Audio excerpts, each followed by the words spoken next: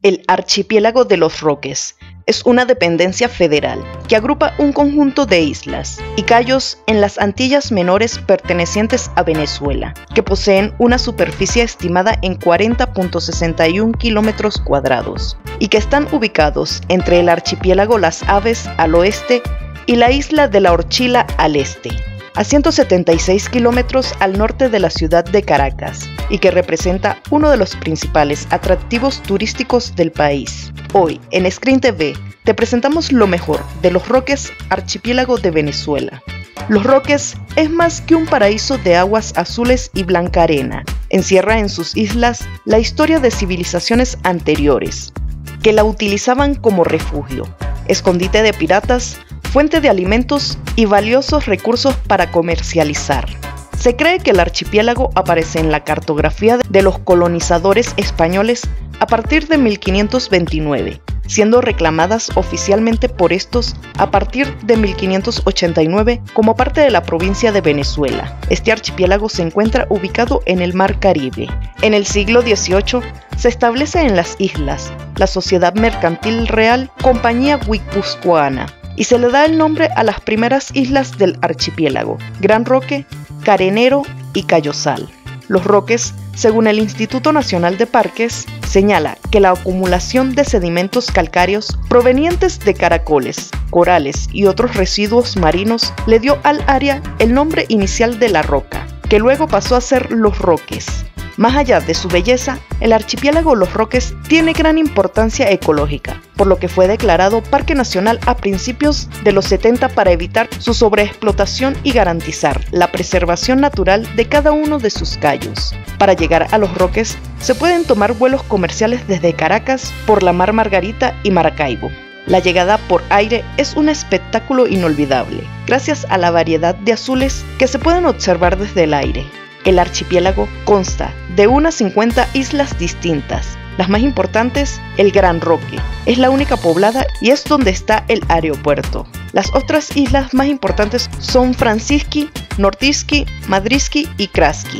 Lo que hace de los Roques un lugar extraordinario es la enorme extensión de mar tranquilo, la presencia de lagunas, cayos y playas de blancas arenas, de origen coralino, y aguas cristalinas de colores increíbles.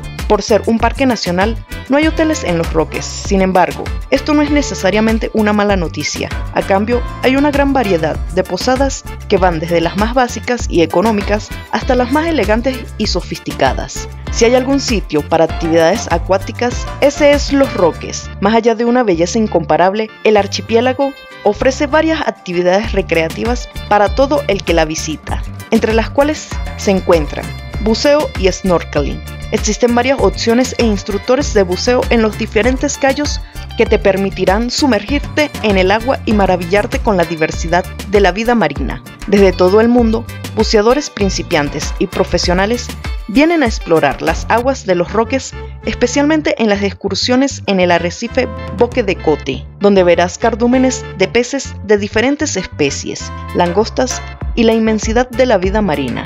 Kitesurf y windsurf el viento constante y la baja profundidad de sus aguas hacen de las playas de los Roques el lugar perfecto para practicar estas actividades, especialmente en Cayo Kraski. Lo mejor de todo es que no necesitas llevar tablas de surf ni nada que ocupe espacio adicional en tu equipaje, pues en los diferentes callos tendrás la opción de alquilar todo lo que necesitas por hora, días o para toda tu estadía en el archipiélago. Pesca deportiva en el archipiélago Los Roques. Su ubicación en el medio del Caribe la distribución de sus callos y los arrecifes hacen que el archipiélago de los Roques tenga una biodiversidad impresionante que lo convierte en un destino atractivo a nivel mundial para la pesca deportiva del macabí, carites, atunes y pargos. Kayak. Los Roques es el lugar ideal para las actividades acuáticas. La tranquilidad y baja profundidad de sus aguas lo hacen perfecto para practicar kayak, ya sea que vayas solo o acompañado podrás alquilar uno y recorrer cada rincón de los cayos. Las playas más hermosas de la zona las encontrarás en algunas de las más de 50 islas que forman parte del archipiélago, como lo son Cayo Francisqui, conformado por tres pequeños islotes, Francisqui arriba, medio y abajo.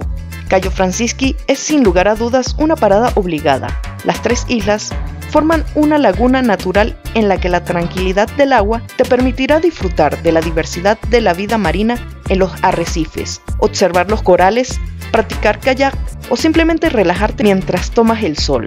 Cayo Madriski. Llegar a este callo toma unos 15 minutos en lancha desde Gran Roque. Su arena es resplandeciente y el agua pacífica, lo que hacen el lugar ideal para relajarte, practicar snorkeling o vacacionar con niños.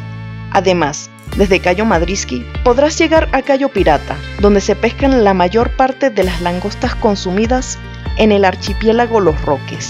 Cayo Agua. Para muchos, este callo se encuentra entre las 10 playas más hermosas de todo el mundo, con un pasillo de arena blanca en medio de un mar de aguas turquesas. Por esta razón es fácil entender que la cataloguen como tal.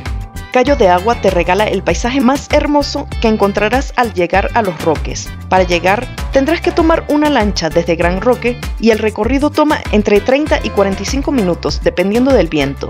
Cayo Agua es una de las atracciones más pedidas por los turistas, nacionales e internacionales. Además de la belleza de su playa doble, Cayo de Agua tiene dunas de arena de más de 2 metros en la que los niños y adultos podrán deslizarse y sus aguas son perfectas para practicar surf. Gran Roque es la isla más poblada del archipiélago y en donde se encuentran las posadas. La magia caribeña, extravagantes cócteles y ritmos pegajosos se apoderan de la orilla de la playa, luego de que cae el majestuoso atardecer.